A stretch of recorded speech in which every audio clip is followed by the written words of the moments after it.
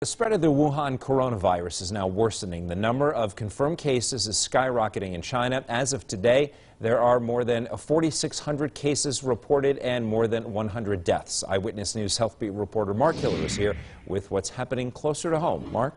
Nick, the CDC announced this morning there are still only five confirmed cases of the emerging virus in the U.S.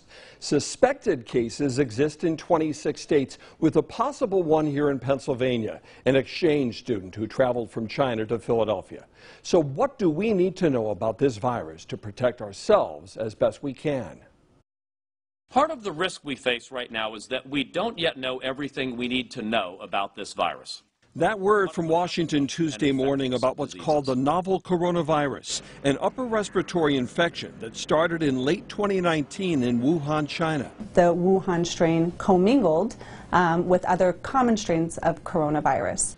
According to Geisinger infectious diseases specialist Allison Brzezinski, that commingling turned a typically mild infection into something potentially deadly. We are monitoring the situation very closely.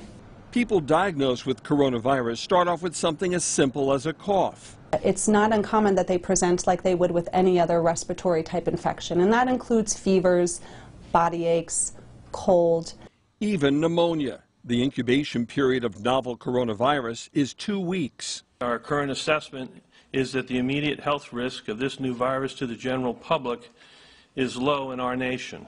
Although we don't have um, an immediate concern in this area, we are ensuring that we're screening all of our patients properly. That means asking Geisinger patients about recent travel to China. While U.S. health officials insist the coronavirus outbreak should not impact Americans' day to day life, it's still considered a public health threat. And I think it's important that we're continuing to monitor the situation daily.